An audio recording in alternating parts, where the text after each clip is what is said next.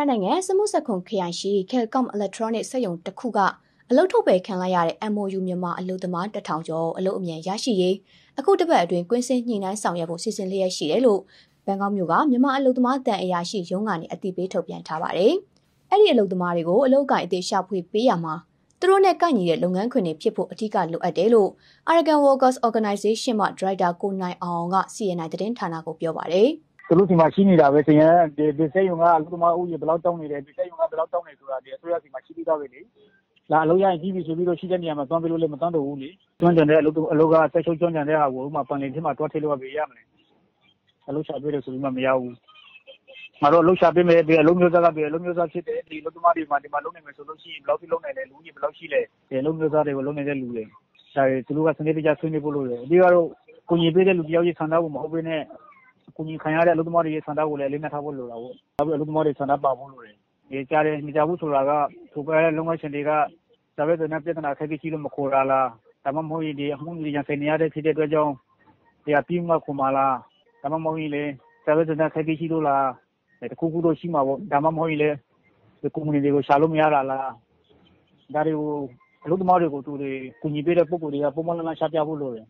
အလုပ်ထုတ်ပယ်ခံရတဲ့မြန်မာအလုပ်သမားတွေထဲမှာ အဲ့ဒီစက်ရုံမှာပြန်လဲလုတ်ကင်လူသူတွေအပြင်တခြားအလုပ်ကင်အသေးရရှိရေးစောင့်ဆိုင်သူတွေရှိတဲ့အတွက်ကြောင့်သက်ဆိုင်ရာထိုင်းဘတ်၅တန်းအေဂျင်စီတွေစက်ရုံကတာဝန်ရှိသူတွေနဲ့အသေးစိတ်ညှိနှိုင်းဆွေးနွေးနေတယ်လို့မြန်မာအလုပ်သမားတန်အရာရှိရုံးရဲ့ထုတ်ပြန်ချက်မှာပါရှိပါတယ်။ပြီးခဲ့တဲ့ match လကုန်ပိုင်းမှာလုပ်ငန်းခွင်လိုအပ်ချက်ကြောင့်လူလျှော့တယ်ဆိုတဲ့အကြောင်းပြချက်နဲ့အဲ့ဒီ MOU အလုပ်သမားတထောင်ကျော်ကိုအလုပ်ထုတ်ခဲ့တာဖြစ်ပါတယ်။ဒါပေမဲ့လည်းလက်ရှိမှာအချိန်ကာလအပြင်တက်လခန့်ကြာမြင့်နေပြီဖြစ်တာကြောင့် သူတို့အလုပ်ကင်ပြန်လဲရရှိရေးကိုအမြန်ဆုံးဆောင်ရွက်တင်တယ်လို့ FED မှာအလုပ်သမားတာဝန်ခံဦးမင်းဦးက CNI သတင်းဌာနကိုပြောပါတယ်။အလုပ်သမားတွေရဲ့လိုချင်တဲ့အလုပ်သမားတွေလုပ်နိုင်မဲ့အလုပ်နဲ့နောက်ပြီးလိုအပ်တဲ့ဟိုဘက်ကအာ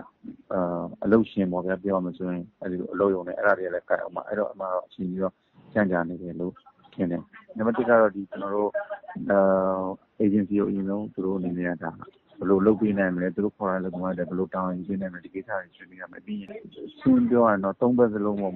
သုံးဘက်စလုံးဆိုတာကတော့ကျနော်တို့ဘက်မှာဆိုလို့ရှိရင်ဗမာဘက်မှာသုံးဘက်ရှိမယ်။သက်ဆိုင်ရာခုနကပြောတဲ့သံရုံးတို့၊အလုပ်သမားသံအရာရှိရုံးတို့ပြီးတဲ့အခါကျတော့အေဂျင်စီရှိမယ်။ပြီးတဲ့အခါကျတော့အလုပ်သမားတွေရှိမယ်။ဟိုဘက်မှာခုနက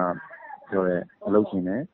သက်ဆိုင်ရာအာဏာပိုင်တွေပေါ့။အဲဒီသက်ဆိုင်ရာအလိုက်ကိုဒီဘက်အခြမ်းကနေပြီးတော့ကျနော်တို့မြန်မာလက်ရှိအာဏာပိုင်တွေ အနေနဲ့ကနေပြီးတော့ဘယ်လိုမျိုးဖိအားပေးမလဲပေါ့။ပြီးတဲ့အခါမှာအဲလိုမျိုးအလုပ်သမားနဲ့အလုပ်ရှင်ကြားမှာအဲလိုပြဿနာတက်လို့တစုံတခုဖြေရှင်းနေရတဲ့အချိန်မှာဆိုလို့ရှိရင်အဲဒီကာလအတွင်းမှာအလုပ်သမားတွေအတွက်ဘယ်လိုမျိုးအကျိုးခံစားခွင့်ရှိလဲ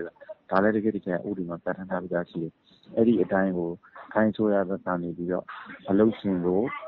လိုက်ပါလုပ်ဆောင်ဖို့အတွက်ဖိအားပေးနိုင်အောင်ဒါကိုဒီဘက်ကနေပြီးတော့ပြောရမှာပေါ့နော်။ကိုဗစ်ကြောင့်ရန်နာထားခဲ့ရတဲ့ထိုင်းနိုင်ငံကို MOU နဲ့အလုပ်သမားစေလွတ်တာကို 2022ခုနှစ်မေလမှာပြန်လည်စတင်ခဲ့ပေမဲ့လည်းအများစုဟာထိုင်းကိုရောက်ရှိတဲ့အခါမှာအလုပ်သမားအခွင့်အရေးချိုးဖောက်ခံရမှုနဲ့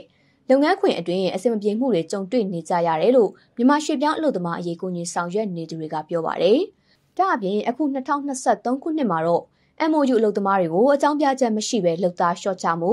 အလုပ်ထုံးမှုတို့အများအပြားပြုလုပ်လာနေတာဖြစ်ကြောင်းလည်းသူတို့ကပြောပါတယ်။